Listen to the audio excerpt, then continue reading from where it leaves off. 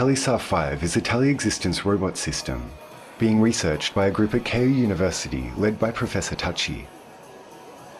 Teleexistence is a concept first advocated by Professor Tachi in the 1980s. The aim of this technology is to free people from time and space constraints by using remotely operated robots to interact with the remote environment. 触り触れるようなぐらい近くに感じられるでこの分身ロボットを使うと何ができるかというと 普段我々が見ているものがそのまま普段見ているようにまず見えるようになっています。でそれからお医者さんだったら例えば患者さんの様子を見るためにこう手を伸ばして様子をこう観察する必要が出てきます。でその時に自分の手と同じように動かせる手を持っている。で自分が聞けるように音を周りの音を聞くことができる。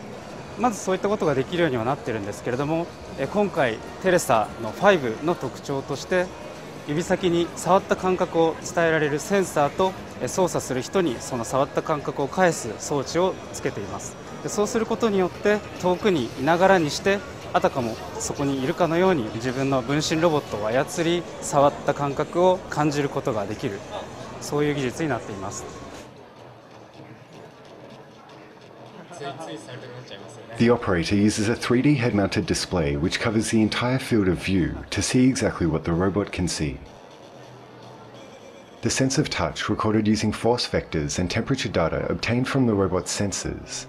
is also transmitted to the operator, allowing them to feel the shape and temperature of objects. Currently, the robot can recognize surface unevenness as fine as that on Lego blocks.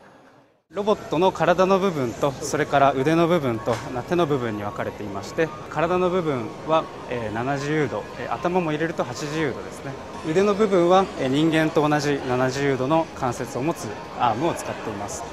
で手も人間の自由度には及びませんけれども15自由度の非常に人間の手に近い構造を持ったロボットハンドを使っています。もう本当に自分がその場にいながらもう自分の体と見分けのつかないような感覚になること。そして自分の体でできることをその場でできること。そういったことを目指したいなと考えています。